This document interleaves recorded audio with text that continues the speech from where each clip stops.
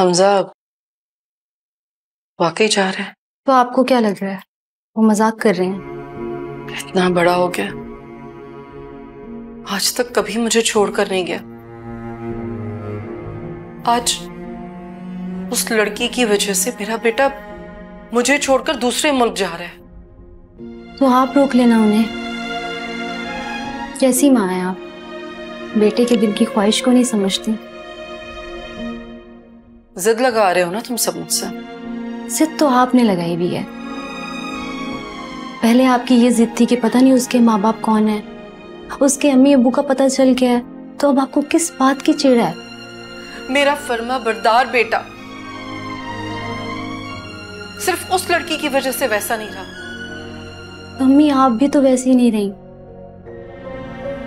पहले आप हमारी हर छोटी से छोटी ख्वाहिश को पूरा कर देती थी। माए तो अपने बच्चों की ख्वाहिशों को पूरा करने के लिए हर हद से गुजर जाती हैं, और आप भी ऐसा करती थी। बाबा के गुजर जाने के बाद आपने हमें पूरी दुनिया से बचा कर रखा। जानिए अब आपको क्या हो गया? है आप ऐसी नहीं रही, आपका दिल इतना सख्त कैसे हो गया, अम्मी? मेरा दिल सख्त नहीं है, शिजा। लेकिन मुझे सिर्फ़ इस बात का डर है कि वो वो इस घर पर आकर यहाँ भी कब्जा कर लेगी जैसे मेरे बेटे पर कर चुकी है। बहुत गलत समझ रही हैं आप उसे। एक बार उसे इस घर में लाकर तो देखें उसे अपना कर तो देखें। आपको अपने रवैये पर शर्मिंदगी ना होना तो मुझे कहिएगा। क्यों जिद हो गई है मुझे भी? बचपन में वो जब भी कोई ख्वाहिश जिद करता था उसके पापा कैसे पूरा करते थे?